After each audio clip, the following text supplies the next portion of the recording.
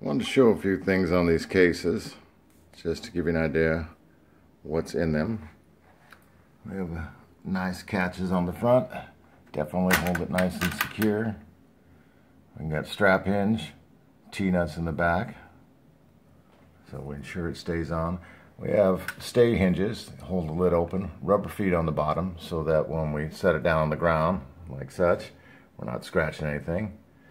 And on the bottom we have rubber feet, so when we lay it down on the table, like that, we won't be scratching anything. And this metal plate that you see right there, that's just to protect the Tolex so that when we set this on the mic stand, it doesn't start scarring up the Tolex. Now the case itself, open it up here, basically has a few different attributes. we have magnets embedded in the back behind this Tolex. Basically the wire will find the magnet itself and then you put your paper in and just let it snap in and it'll hold your set list or whatever you want to put in there in place. Down below here we have a magnet that will hold this wing nut in place so it kind of doesn't get lost.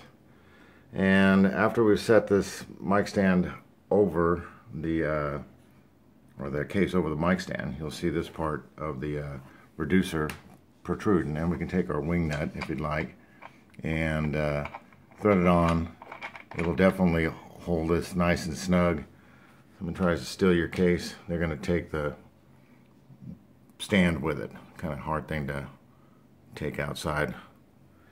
Anyway, so then we have an area here to hold all your different equipment, mics, pedals, cords.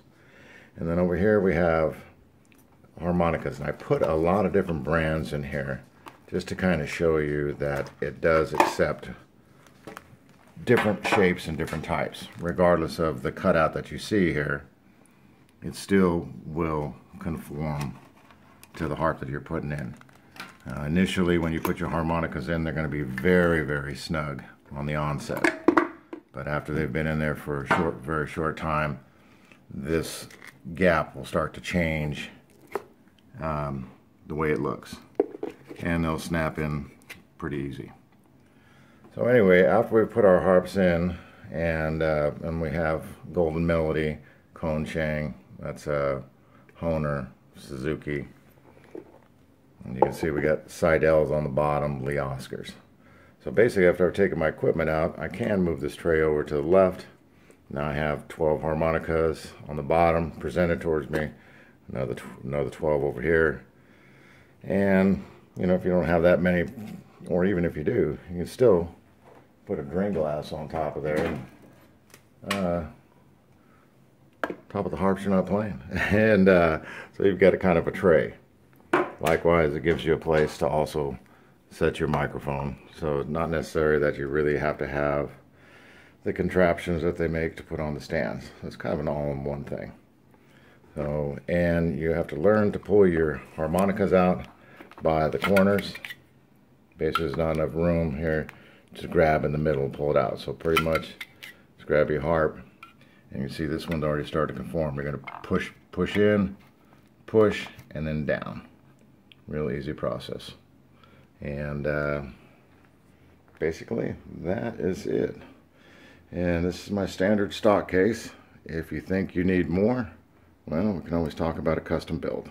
Okay, one more thing. Just wanted to let you know, this little item that you see right here is a reducer that will be supplied. That goes onto your mic stand so that it can be presented through that plate.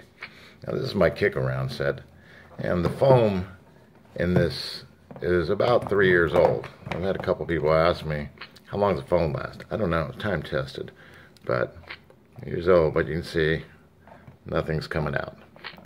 So um, what I wanted to also let people know is all my cutouts for my harps are shaped like that because that's the standard. Basically, I fit this for the smallest harmonica, which is a marine band. Um, however, as I said, you can see Seydels or any of these shapes will fit.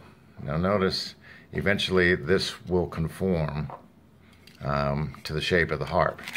Initially, it looked like that. Now, if I left this harmonica out for about 24 hour period, that shape we'll go back to that. It's kind of kind of like a memory thing. So if at a later date I decide I want to change positions of my harps, I don't have to worry about that staying like that. It can, you know, shrink back down to something. So right now this would be kind of loose. But if I give it 24 hours, let it go back to that shape, like I said, be nice and snug. You can see they pop in nice and easy. And so basically, it's insert, push to the left or right, depending on which hand you are, push down. And that's it.